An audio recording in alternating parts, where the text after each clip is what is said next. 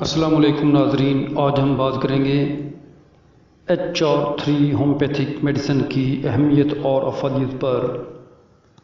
Viewers अगर आप हमारे चैनल में नए हैं, अभी तक आपने हमारे चैनल को सब्सक्राइब नहीं किया तो बर मेहरबानी, आप हमारे चैनल को सब्सक्राइब कीजिए और बेल आइकन को दबा दें ताकि हर नई वीडियो आपको आसानी से मिल सके। तो मैं आपको होम्योपैथिक डॉक्टर अब्दुल वाहिद आपको अपने यूट्यूब चैनल में बहुत बहुत खुश कहता हूँ। तो चलिए शुरू करते हैं।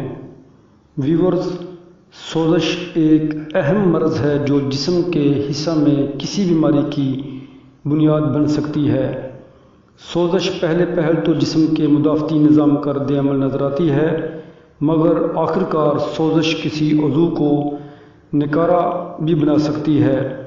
एच आर थ्री जिसम के किसी भी हिस्से पर पीप और सूजन या सोजश वाली सूजन गदूदों की सूजन, तेज़ जरासीमी हमला और तेज़ बुखार, दिमागी झिल्लियों की सोजश, आँख की बैरूनी तह, हलक की सोजश, गर्दन तोड़ बुखार, हलक के अंदर की सोजश, हलक में शदीद दर्द, टॉन्सल्स, सुरख बुखार, अंदरून कान की सूजन, आँख आना, आँख की बैरूनी तहों की सूजन, दिमागी झिल्लियों की सूजन, जबड़ों या दांत की जड़ की सूजन फोतों का वरम, सीने का वरम, अपेंडिसाइटिस, औरतों के अंदरूनी हदूदों का वरम, कीड़े, मकोड़ों के काटने के असरात, हल्के फुल्के, केमिकल के रद्द अमल, गर्ज के हर सूजन के लिए एच आर थ्री कारगर और मौसर तरीन मानी जाती है। एच आर थ्री का दायरा असर इन इलामत पर मुहित है।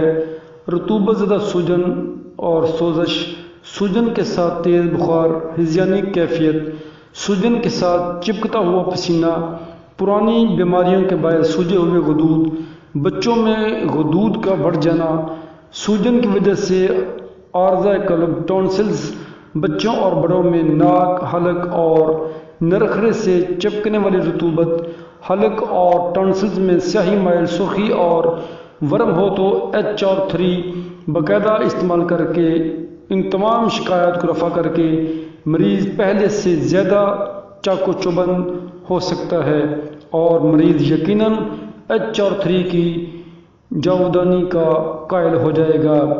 वीवर्स इस मेडिसिन का तरीका इस्तेमाल ये है कि 10 से 15 कतरे दिन में तीन से चार बार थोड़े से पानी में इस्तेमाल करें। चिकनाई से मुकम्मल परहेज़ किया जाए। वीवर्स ये थी आज की हमारी video H R three homoeopathic medicine की अहमियत और अफाजियत पर। तो नई वीडियो लेकर ज़रूर हाज़िर होते हैं। उस वक्त तक के लिए इजाज़त बहुत बहुत शुक्रिया। अल्लाह हाफिज़।